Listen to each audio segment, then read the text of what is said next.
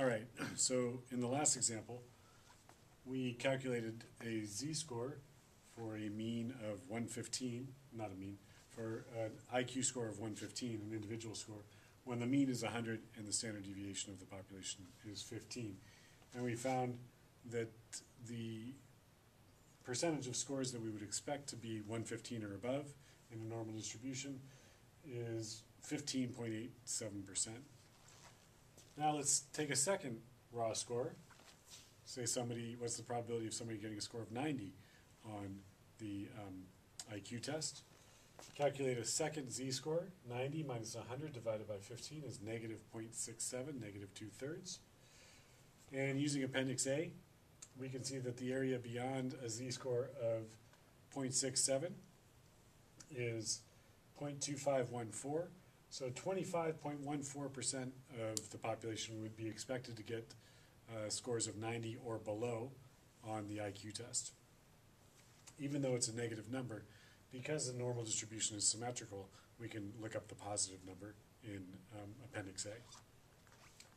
Now suppose we've got a question that says something like, what percentage of the population would you expect to have scores between 90 and 115?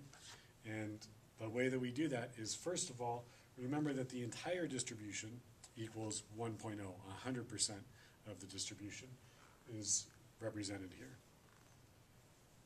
25.14% of the distribution falls below a score of 90. 15.87% falls above a score of 115. So if we add these two areas together,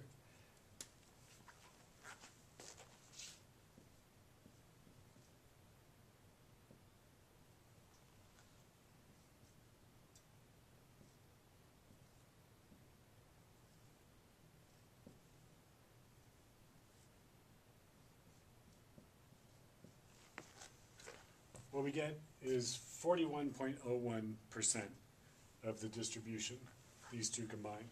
So what's this proportion right here, or what's this percentage between these two scores? Just subtract that from the overall, and you'll get your answer.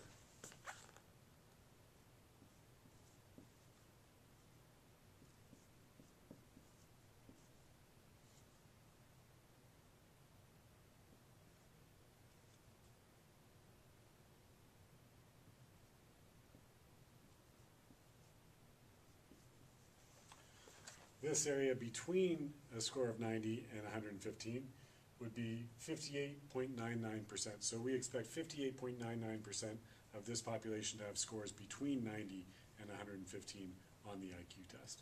And that's how you find the area between two scores.